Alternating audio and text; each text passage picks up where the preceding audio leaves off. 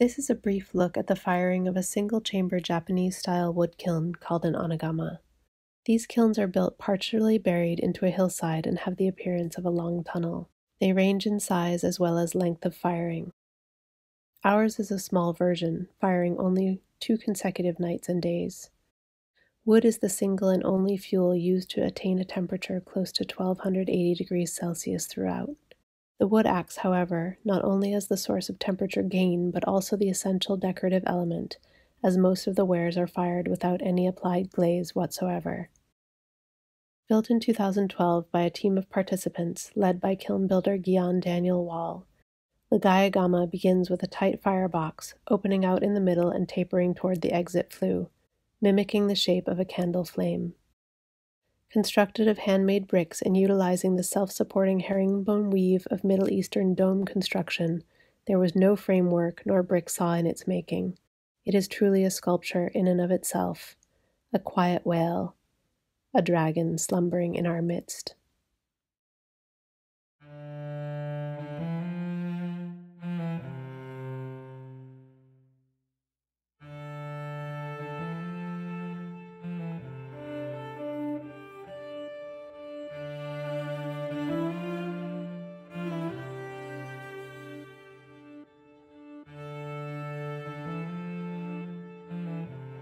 A long, slow walk through fire.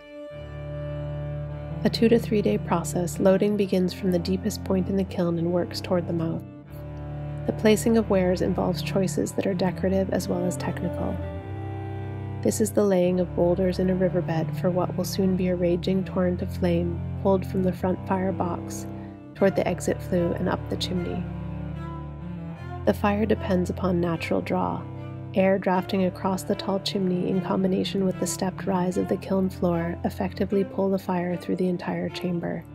No forced air, fans, or mechanical components are utilized, just a keen understanding of raw elements in combination. The door is methodically sealed, brick by brick, once the final largest works are securely tucked into the firebox and the grate is laid many hands. This effort is collective, like a barn raising or a summit expedition. Each participant is as relevant as their works inside the kiln. Each is relied upon to complete the journey, to create the whole.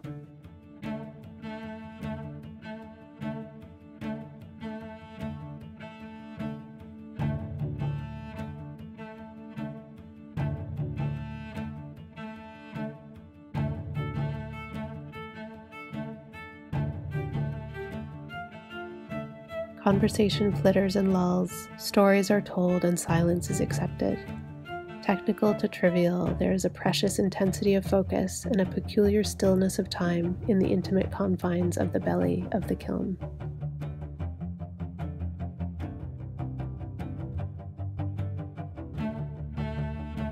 Upon this island of the gods, offerings of flowers and incense are pervasive. For almost any activity and certainly any hearth, a blessing is given, at this very moment, this is a recognition that the firing is not entirely in our hands. It is a letting go of ego, a humbling of oneself to ritual, a partaking in the phenomenal richness of the Balinese culture. With a mantra of surrender and a hope for great learning, the kiln is lit. Firing, firing, firing, night and day, and night and day and night. Activity is constant feeding the fire's growing appetite, reading the pyrometer and recording temperature and observations, prepping wood, serving snacks, shifting shifts on watch, like crew on a massive sailing ship. Stories, laughter, thoughtful quiet, coffee all fuel our endurance for this marathon, this sweat lodge, this test of temperament and teamwork. Throughout the firing, tiny particles of wood ash float through the kiln as if on a river of flame. These particles settle thinly or densely upon the ware depending upon the placement of a piece, and create a patina that ranges enormously in color, texture, and sheen. The flame itself also plays a role in painting the clay surfaces as it searches, exactly like water, for the most expedient path through the kiln. And down 12 and 13 half. The temperature has reached its maximum. The coal bed has been built up and burned down. raked and fluffed several times, and the final reduction cooling begins. The firebox is force fed, choking the combustion cycle. The chimney is inched closed, forcing the flame to erupt from blowholes along the kiln spine and out of any crack or crevice, searching for oxygen at all cost. The door is sealed, kiln sprayed down, fury over. But still a couple more hours remain, keeping the internal atmosphere carbon soaked. And then, at long last, sleep. Two days of silence, and I return to the world at large. Chink by chink, the tomb door is unsealed. From the wreckage that meets the eye come slowly, one by one,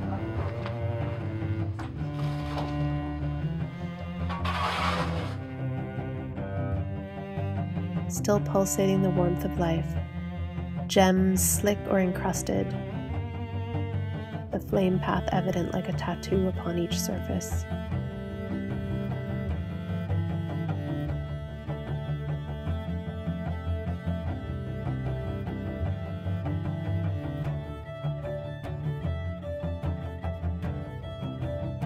Here there is crystal growth in the natural ash glaze, there the soft appearance of lichen where the ash is only partially fluxed.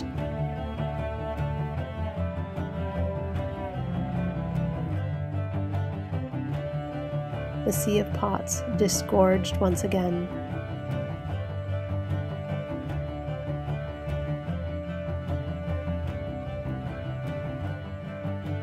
The looking only just begins now.